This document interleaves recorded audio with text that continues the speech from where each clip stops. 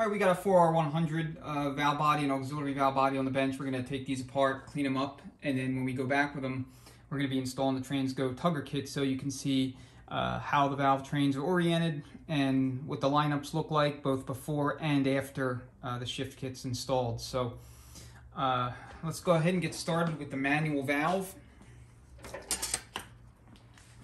So manual valve is just held in place by a retainer clip. So all you got to do is just pry up on the casting, take it loose, and then just take out the manual valve.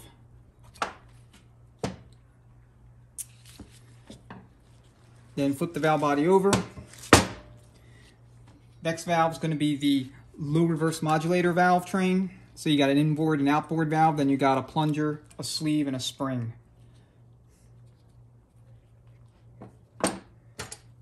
So this is under a little bit of spring tension. So when you're prying out with it, you kind of want to keep your thumb here to make sure it doesn't fly across the room on you. So here you have the little valve inside the plunger.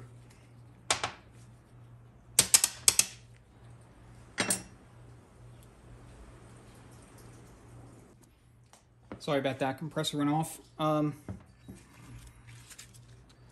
so then is your spring followed by the inboard and outboard low reverse modulator valves.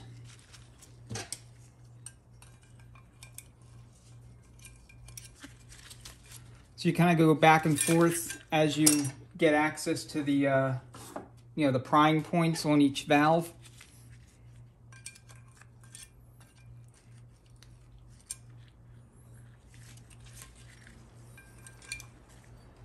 And sometimes it can be a little fussy to get out, take a little bit of uh, manipulation.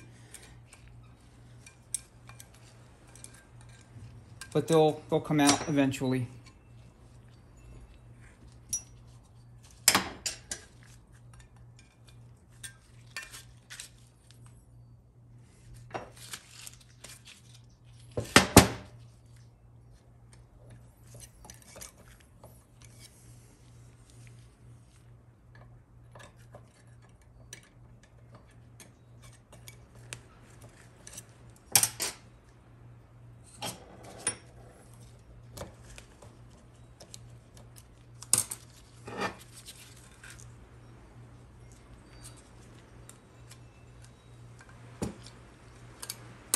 So this is the uh, low reverse modulator valve.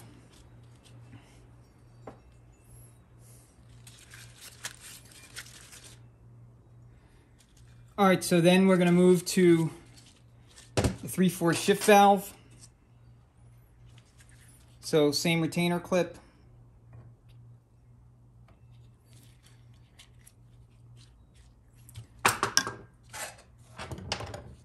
And then once the clip's out of the way, what you're gonna do is thread a valve body bolt into the little plug so that you can remove it with a slide hammer.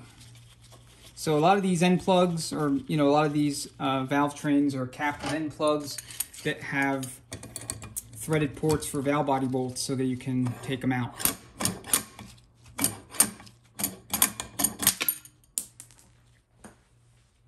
So same kind of deal. A little bit spring tension. So you want to be careful. I mean, the plug falling on the ground is not going to hurt anything, but you want to make sure that the valve just doesn't go flying, spring doesn't go flying, and you lose track of stuff.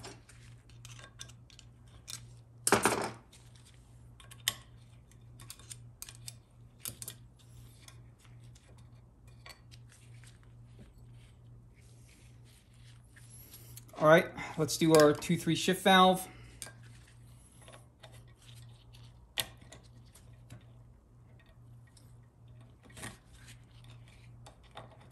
So again, you just want to be careful.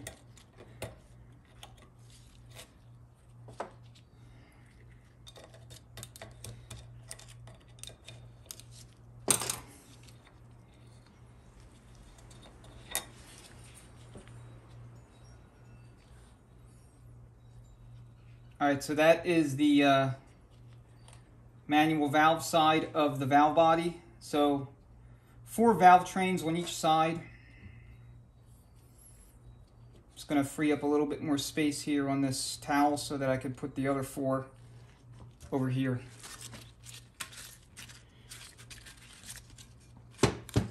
All right, so we have the um, solenoid regulator valve, the coast clutch shift valve. This is the 432 timing valve, and then you have your 1-2 shift valve.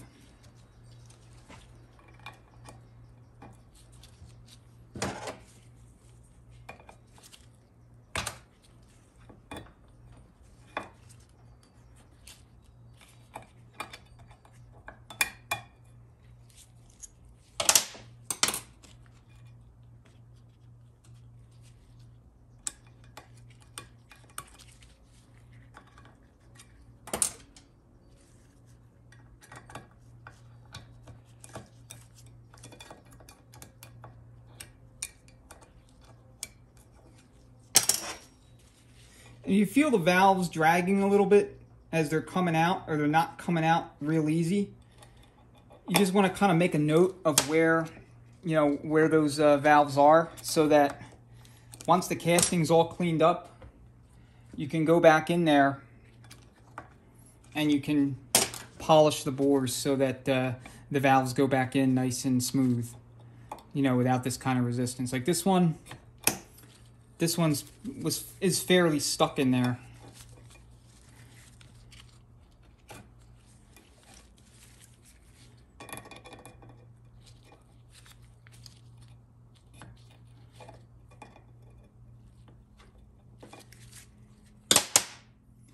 So if they go back in like this, then more than likely you're going to have all kind of shifting problems. So you obviously don't want that.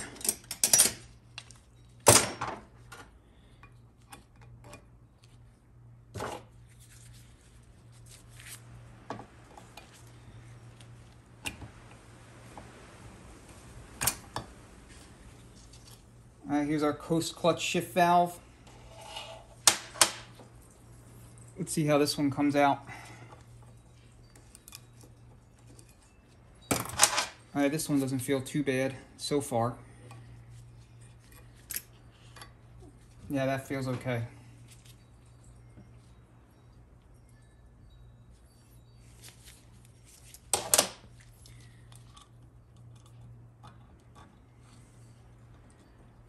Next, you have your 432 timing valve.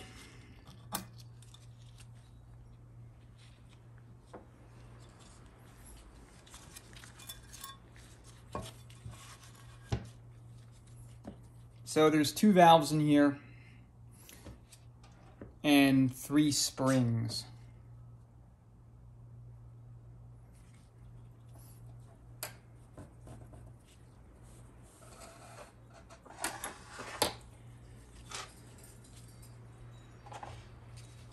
So you have a, a piston in here and then you have a retainer keeping the rest of the valve train in.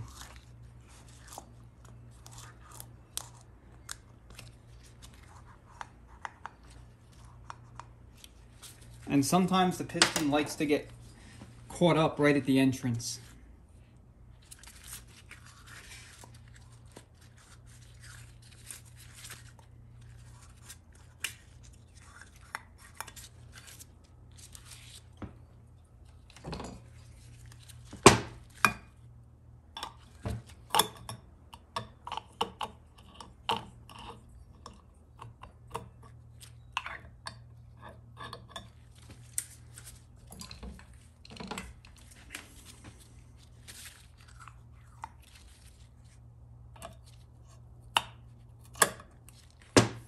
This one's being really stubborn. They're usually not this bad. They usually just come come out with a little bit of a little bit of pulling force, but this one is in there. All right, so what I'm gonna do is I'm gonna pull out the retainer and then use the rest of the valve train to drive it out.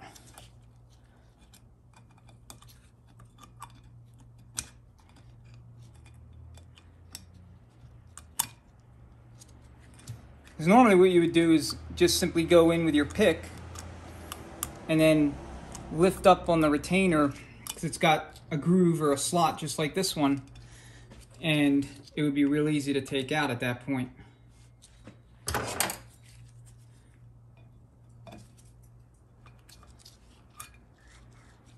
Okay.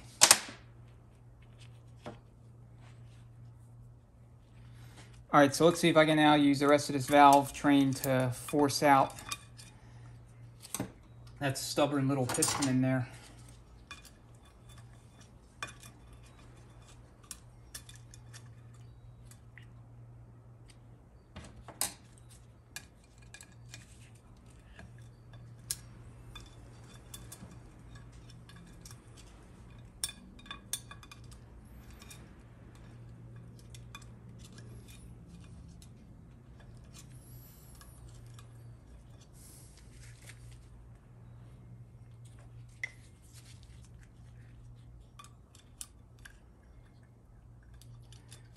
Have enough of that piston exposed. Or when I do, I'm going to grab it with the pliers if I can, unless it's already coming out.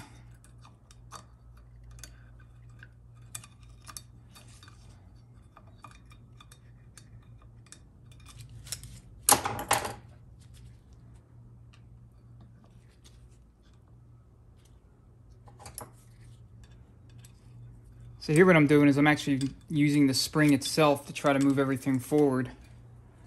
But this is a pretty weak spring based on what I'm trying to do.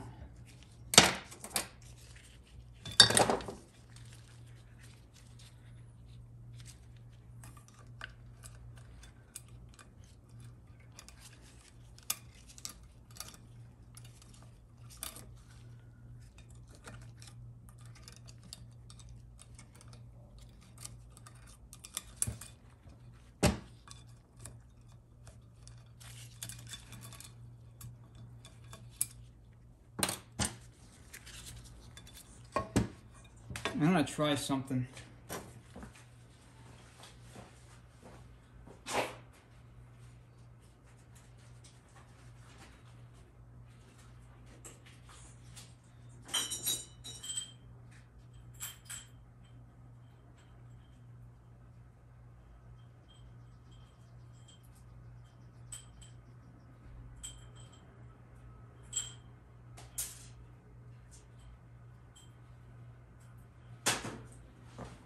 So I've done this before with other valve bodies and, you know, real stubborn ports like this.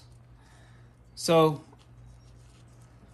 I have a couple of bolt heads that I've cut off and then some small nuts and washers.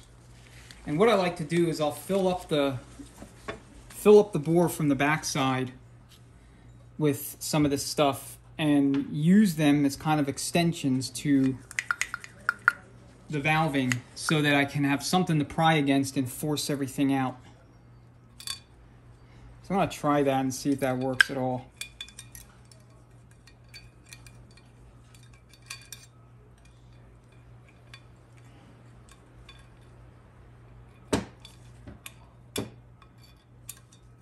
So I think that one got got it to move a little bit. I'm to put one more in, see what happens.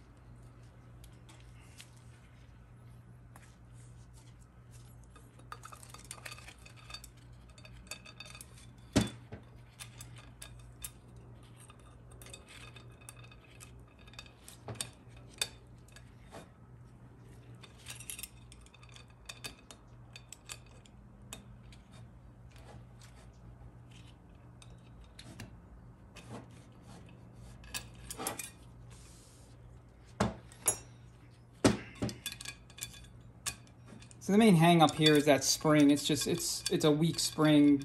I mean, it's not weak. It's designed the way it's designed, but it's too weak to, to do what I'm trying to do with it.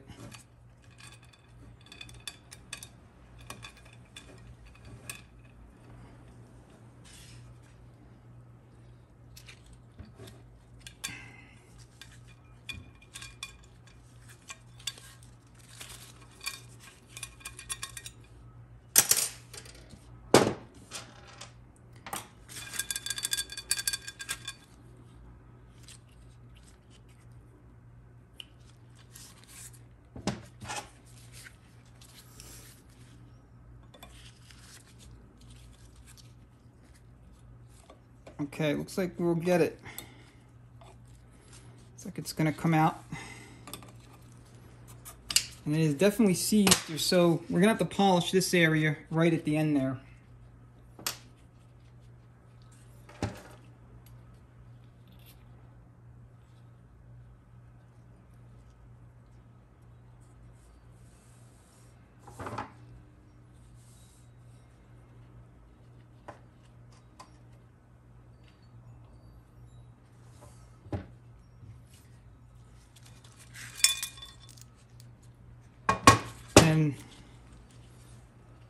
The 432 timing valve itself valve itself come out. I think we got one more uh, bolt hit in there. There we go. All right, so I guess if you're ever in a position like that and you uh, can't get a valve out, you have one more technique available to you uh, if that's not something you're already doing. All right, the one-two shift valve is last, and then once this is out, the valve body will be completely empty.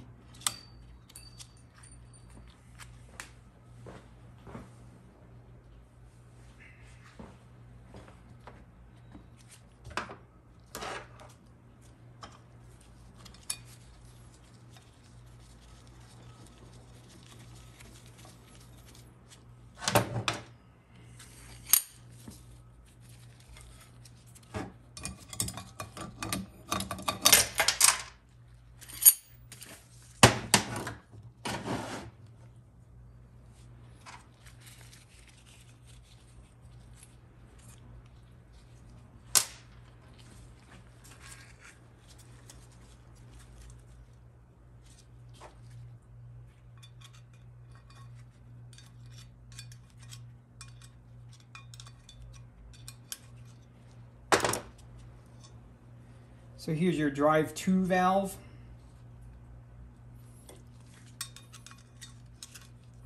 And then the one two shift valve follows it.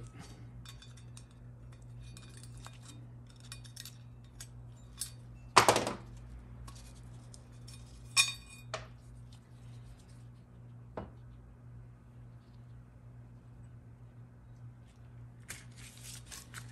right, so that's valve body. It's completely empty now. We can move on to the auxiliary valve body.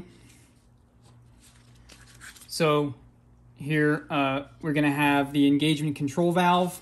That's this valve right here. And then we have our 1-2 manual transition valve here.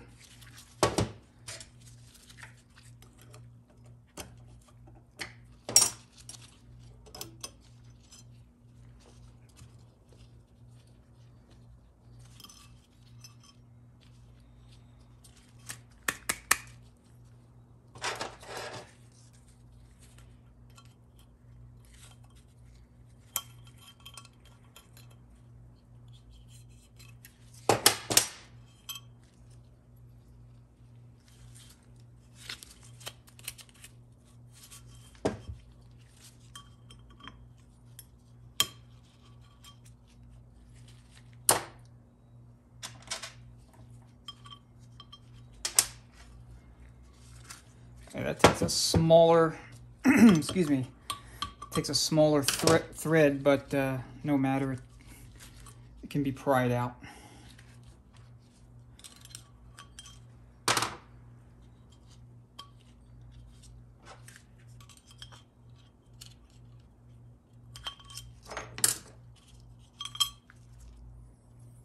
All right, those are the only two valve trains in the auxiliary valve body.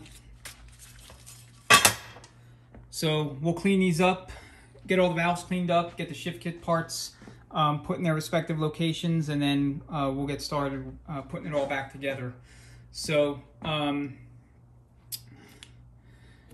the 432 timing valves piston and the solenoid regulator valve were a little bit difficult getting out, so we got to polish those bores and clean them up so that uh, when the valves go back in, they're moving nice and free.